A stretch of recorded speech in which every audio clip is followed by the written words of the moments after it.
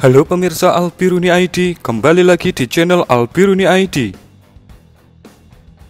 Kita semua pasti setuju kalau soal akurasi dan daya hancur, MLRS buatan Paman Sam, yaitu HIMARS, memang jauh lebih baik jika dibandingkan dengan MLRS buatan Rusia, seperti BM21 Grad, BM27 Uragan, atau bahkan BM30 Smart sekalipun.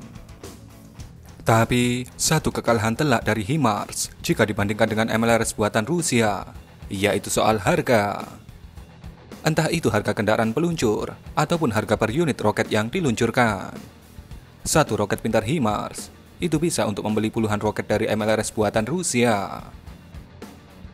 Dan karena harganya yang murah, Rusia bisa menciptakan neraka seperti pada video kali ini, di mana pastinya selain menghancurkan dan merusak fasilitas lawan, juga akan membuat nyali lawan ciut ketika melihat MLRS Rusia beraksi dan menghujani targetnya.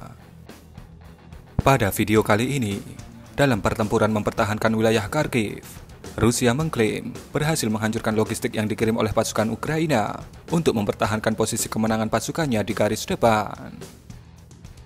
Anda bisa melihat bagaimana hujan roket MLRS yang diklaim dilakukan oleh BM-21 dan BM-27 menghujani sebuah kawasan sehingga menciptakan pemandangan yang cukup mengerikan setelah hujan MLRS itu terjadi. Rusia menyatakan serangan ini akan sedikit menghambat pergerakan dari pasukan Ukraina di garis depan karena rantai logistik mereka yang terganggu. Dan inilah sedikit pertunjukan terbaru dari Rusia di medan laga. Berikan komentar Anda.